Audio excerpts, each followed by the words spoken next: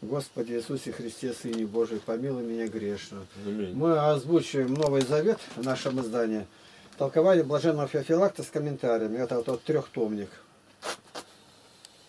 Вот. В нем 200, это, ну да, 240 иллюстраций цветных. Итак, номер 19. Евангелие от Иоанна, 16 глава, 1-4 стихи. Сие сказал я вам, чтобы вы не соблазнились. Изгонят вас из синагог. Даже наступает время, когда всякий убивающий вас будет думать, что он тем служит Богу. Что спрашивать? Так будут поступать, потому что не познали ни Отца, ни Меня. Но я сказал вам, сие для того, чтобы вы, когда придет то время, вспомнили, что я сказывал вам о том. Не говорил же всего вам сначала, потому что был с вами. Толкование блаженного Феофилакта. Я, говорит, сказал вам об этом, прежде чем сбылось, для того, чтобы вы не соблазнились впоследствии. Когда увидите, что многие не веруют в ваши проповеди, и что вы сами подвергнетесь бедствиям, но чтобы, заключая потому, что я сказал вам об этом прежде, нежели сбылось, приняли и утешение мое с верою, что я не обманул вас в этом случае так же, как не солгал, и в предсказании о бедствиях. Изгонят вас из синагог, отлучат от своих собраний и славных мест и лишат всякого общения. То есть буду считать их за сектантов и будут выгонять. Ибо сговорились уже, чтобы кто признает его за Христа, того отлучат от синагоги. Иоанна 9.22. Не только вы будете изгнаны из синагог, но и примете смерть, и смерть поносную. Ибо вас будут убивать как людей, вредных, врагов Божиих. И всякий убивающий вас будет так стараться об убиении вас, что будет думать, что он тем служит Богу. Как будто сегодня все. То есть будет думать, что он совершает дело богоугодное и святое. Ибо блаженны вы, когда будут поносить вас и гнать, и всячески неправедно злословить за меня. Матфея 5.11. Это блаженство, да будет вам утешением при воспоминании о нем. Сказал вместе для того, чтобы вы не оставались без приготовления, но приготовились бы, помня, что я сказал сам об этом, и потому стояли против скорбей мужественно. Иоанна 16, 5, 7.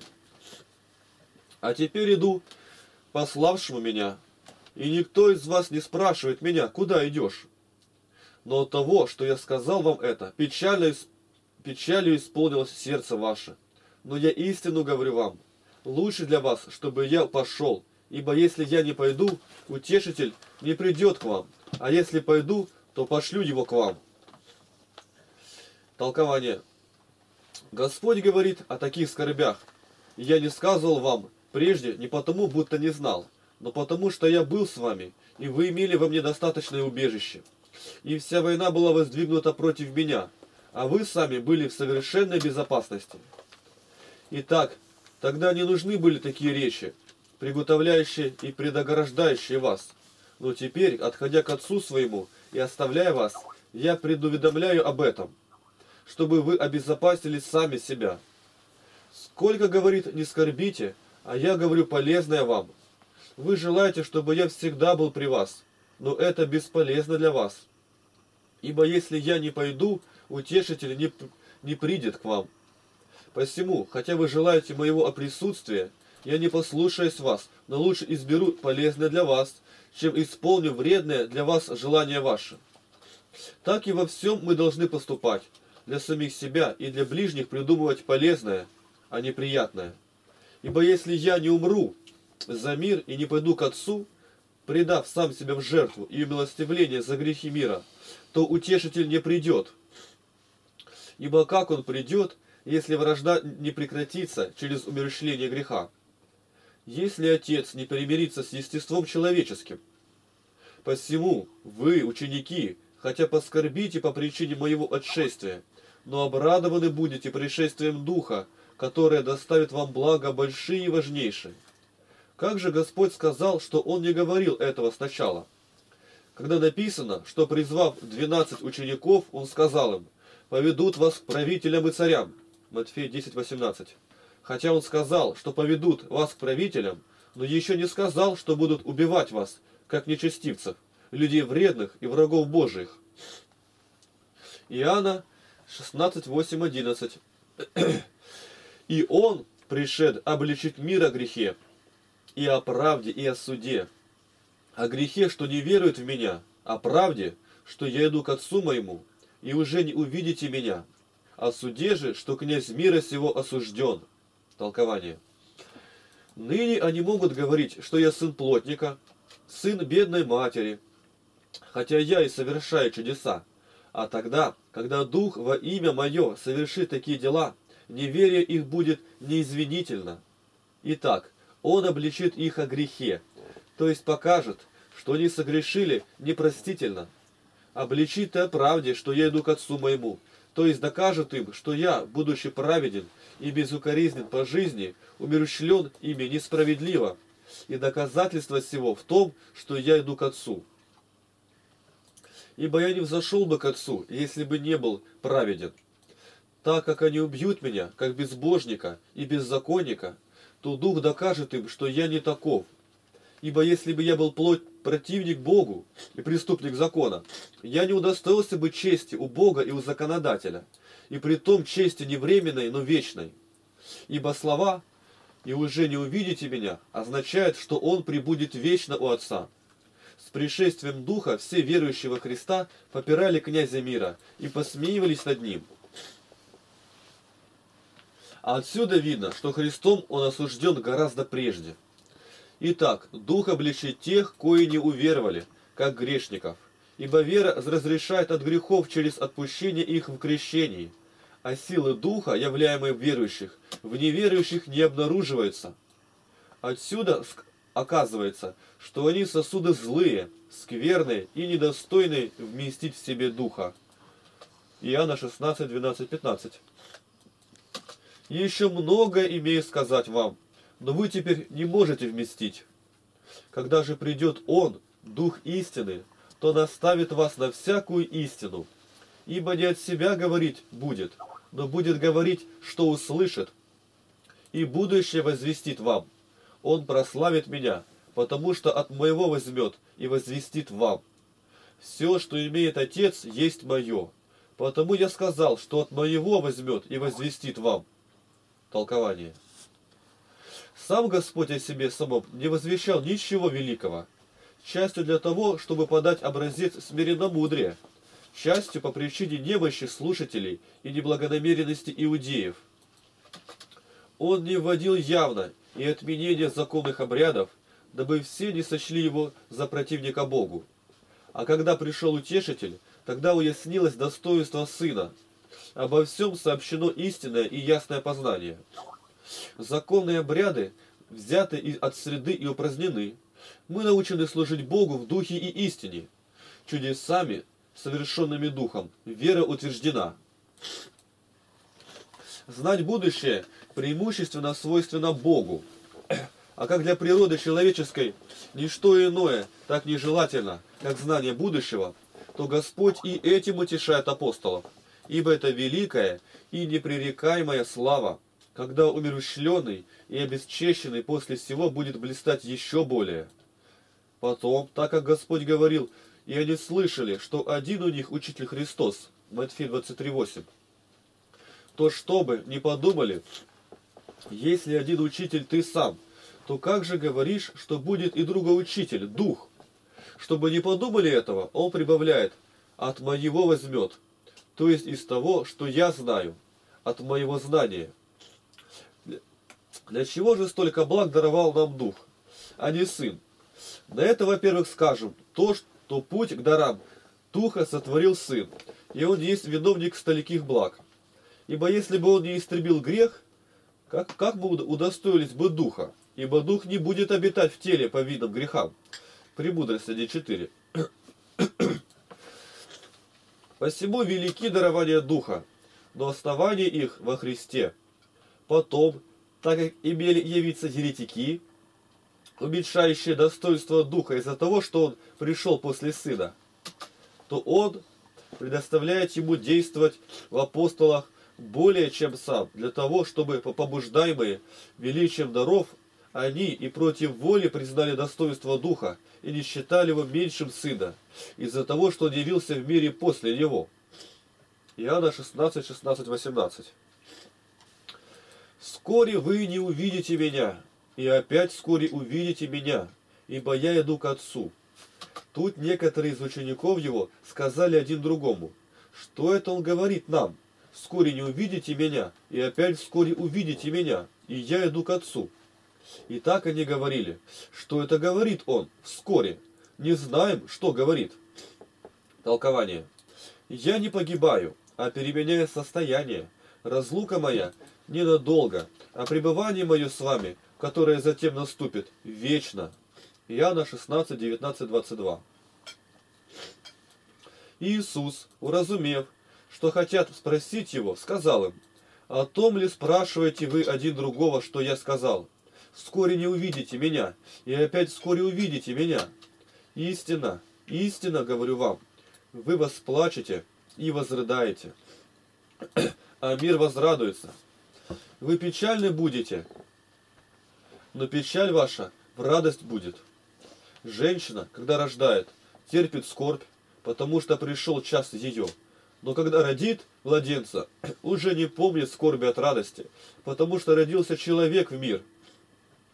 Так и вы теперь имеете печаль, но я увижу вас опять, и возрадуется сердце ваше, и радости вашей никто не отнимет у вас. Толкование.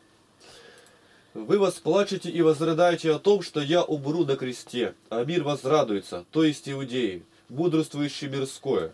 Возрадуется, что уничтожили меня, врага своего, но печаль ваша в радость будет, а радость иудеев, напротив, обратится и в печаль, когда по воскресенье будет славиться имя мое. Это сравнение употребляли и пророки жестокостью родильных болезней и обозначая степень скорби. В то же время удостоверяет учение о воскресении и показывает, что умереть похоже на то, как выйти из утробы матерни на свет. Не удивляйтесь же, что радости вам должно достигнуть через такую печаль.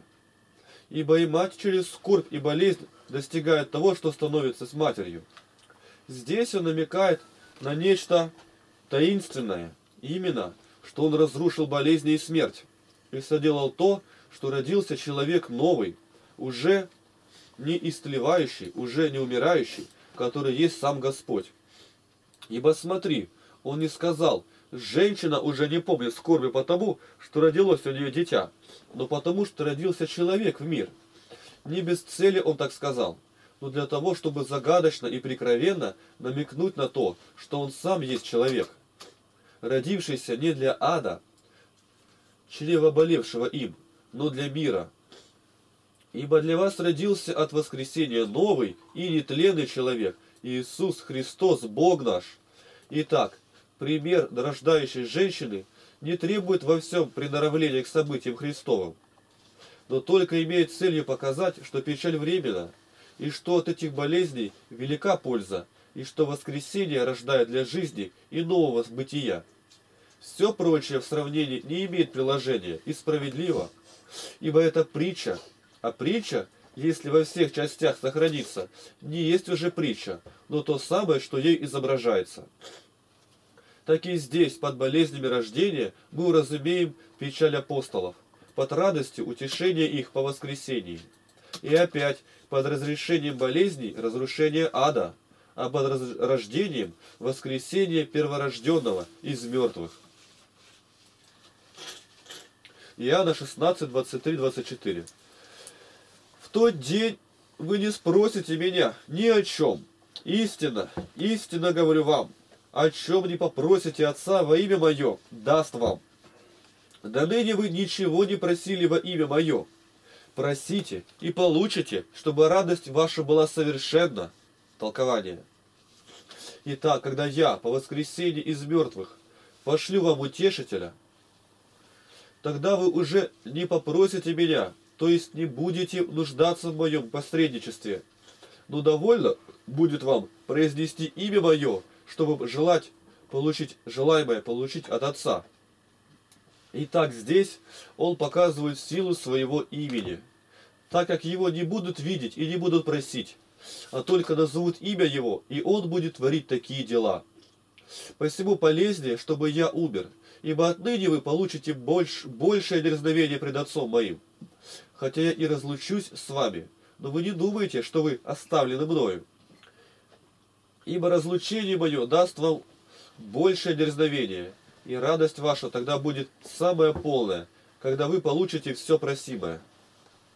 Привечай же, получает тот, кто просит во имя Христа. А из тех, кои желают предметов мирских и души вредных, никто не просит во имя Христова, а потому и не получает. Ибо имя Христа божественно и спасительно. Если же кто просит пагубно для души, то неужели мы скажем, что он просит во имя Спасителя? Иоанна 16, 25, 28. Доселе я говорил вам притчами, но наступает время, когда уже не буду говорить вам притчами, но прямо возвещу вам об Отце. В тот день будете просить во имя Мое, и не говорю вам, что я буду просить Отца о вас, ибо сам Отец любит вас, потому что вы возлюбили меня и уверовали, что я пришел от, от Бога. Я и шел от Отца и пришел в мир, и опять оставлю мир и иду к Отцу. Толкование. Прежде они думали, что Бог ему Отец, так же, как и нам по благодати. Отец настолько любит вас, что вы уже не будете иметь нужды в моем посредничестве, ибо Он сам любит вас. Потом, чтобы они не отстали от Христа, так как не имеют уже нужды в нем и состоят в непосредственной любви Отца, говорит, Отец любит вас за то, что вы возлюбили меня. Посему, если отпадете от любви моей, то немедленно отпадете и от Отца. А как слух о том, что он исшел от Бога и опять идет к Богу, в разных отношениях утешал их, то он часто говорит об этом. Иоанна 16, 29, 32. Ученики его сказали ему, «Вот, теперь ты прямо говоришь, и притчи не говоришь никакой. Теперь видим, что ты знаешь все, и не имеешь нужды, чтобы кто спрашивал тебя. Посему веруем, что ты от Бога исшел». Иисус отвечал им, «Теперь веруете? Вот наступает час, и настал уже, что вы рассеетесь каждый в свою сторону, и меня оставите одного. Но я не один, потому что Отец со мною. Толкование. Ибо знать тайны сердечные свойственно Богу, Псалом 43, 22. Смотри же, как они несовершенны. Когда говорят «теперь видим», они так много и долго слушавшие учение Его говорят «теперь мы знаем», а Христос объявляет им, что они и теперь еще несовершенны, что они не уразумели ничего великого о Нем, но еще обращаются низко и около земли. Он говорит, теперь веруйте, и этим как бы упрекает и укоряет их за медленность веры. Вы думаете, что имеете обо мне великое представление, а я говорю вам, что вы оставите меня врагам, и такой страх овладеет вами, что вы и удалитесь от меня, не вместе друг с другом, но рассеетесь каждый поодиночке, и каждый сам себе будет искать убежища и спасения. Но я от того не потерплю никакого зла, ибо я не один только, но и Отец вместе со мною. Посему я страдаю не по бессилию, но добровольно, отдаюсь распинателям. Когда посему слышишь, Боже, для чего ты меня оставил, Матфея 27:46, не понимай так просто, будто Спаситель оставлен Отцом, а понимай так, что слова эти сказаны естеством человеческим, оставленным и отверженным за грехи, но во Христе примиренным и усвоенным Отцу. Иоанна 16:33. «Сие сказал я вам, чтобы вы имели во мне мир. В мире будете иметь скорби, но мужайтесь. Я победил мир». Толкование. «Да слышит и Арий, что все это смиренное и, по-видимому, недостойное славы Сына, сказано ради слушателей, а не для того, чтобы мы пользовались этими словами при определении догматов. Ибо они сказаны в утешении апостолов, как показывающие любовь его к ним. Искушение для вас не остановится на страшных этих словах. Но до тех пор, пока вы будете в мире, вы будете иметь скорбь. Не теперь только, когда я предаюсь, но и после этого. Но вы противостойте искушающему помыслу. Мужайтесь, я победил мир. А когда я победил, вам, ученикам, должно не скорбеть, но презирать мир, как уже побежденный. Как же он победил мир? Не изложив начальника мирских властей, страстей. Впрочем, это видно из последующего, ибо все ему покорилось и уступило.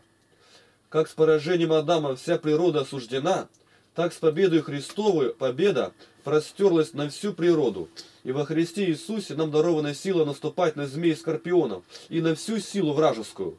Лука 10:19. Ибо через человека смерть вошла, через человека же и жизнь, и сила на дьявола. 1 Коринфянам 15, 21, 55. Ибо если бы победил один только Бог, тогда ничто не относилось бы к нам. Иоанна 17, 1, 3. После сих слов Иисус возвел очи свои на небо и сказал, «Отче, пришел час, прославь Сына Твоего, да и Сын Твой прославит Тебя, так как Ты дал Ему власть над всякой плотью, да всему, что Ты дал Ему, даст Он жизнь вечную. Сия же есть жизнь вечная, да знают Тебя, единого истинного Бога и посланного Тобою Иисуса Христа». Толкование. Сказал ученикам, что они иметь будут скорби, и убедив их не унывать, Господь ободряет их еще молитвою, научая и нас в искушениях оставлять все и прибегать к Богу. Иначе, настоящие слова суть не молитва, но беседа с Отцом. Если в иных случаях, Матфея 26:39, он молится и преклоняет колено, то не удивляйся всему, ибо Христос пришел не для того только, чтобы явить себя миру, но и для того, чтобы научить всякой добродетели. А учитель должен учить не словами только, но и делами, желая показать, что идет на страдание не против воли, а по собственной воле. Говорит, «Отче, пришел час». Вот, он желает этого, как чего-то приятного, и предстоящее дело называет славою, и славою не своей только, но и отчею. Так и было. Ибо не сын только прославился, но и отец. Ибо прежде креста его не знали, даже и иудеи, как сказано.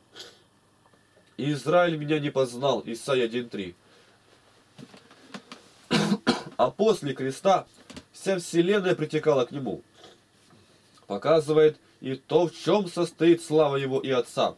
Слава Божия в том, чтобы уверовала и была облагодетельствована всякая плоть. Ибо благодать не ограничится одними только иудеями, но прострется на всякую, на всю вселенную. Сказал это потому, что намерен был послать их к язычникам, чтобы они не пошли этого нововведением, неугодным Отцу.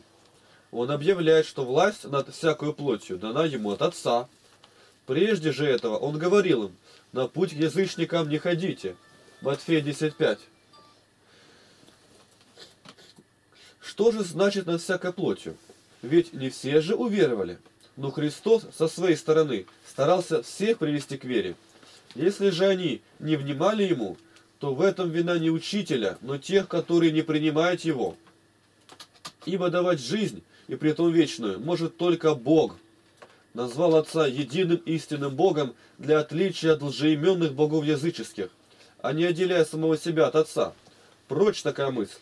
Ибо и он, будучи истинным сыном, не может быть Богом ложным, а есть истинный Бог. Как этот же самый евангелист в соборном послании своем говорит о Господе.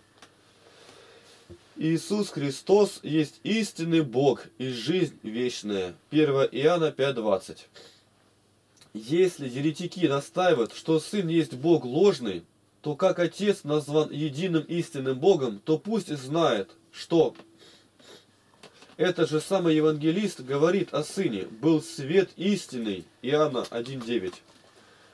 Уж, уне, ужели же, по их понятию, Отец есть ложный свет? Но нет, прочь такая мысль.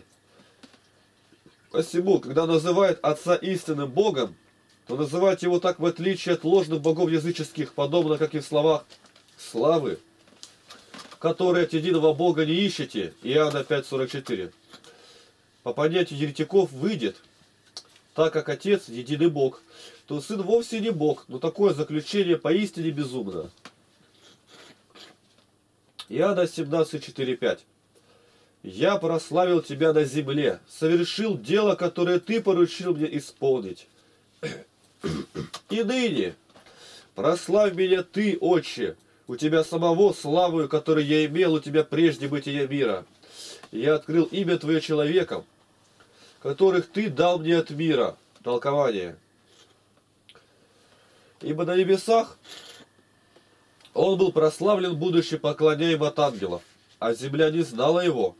А как сын все возвестил о нем, то и говорит, «Я прославил тебя, посеяв богопознание по всей земле и совершив то дело, которое ты поручил мне». Ибо дело воплощения единородного было осветить нашу природу, низвергнуть миродержца, которого прежде боготворили, насадить богопознание между тварью. Как же он совершил это, когда еще и не начинал? Все, говорит, что мне нужно было сделать, я совершил. Да, он сделал то, что больше всего всадил в нас корень добра. Победив дьявола, и самого себя предал всепожирающему зверю, смерти, а от этого корня, по необходимости, пойдут и плоды богопознания. И так говорит, я совершил дело, потому что я посеял, посадил корень, а плоды вырастут.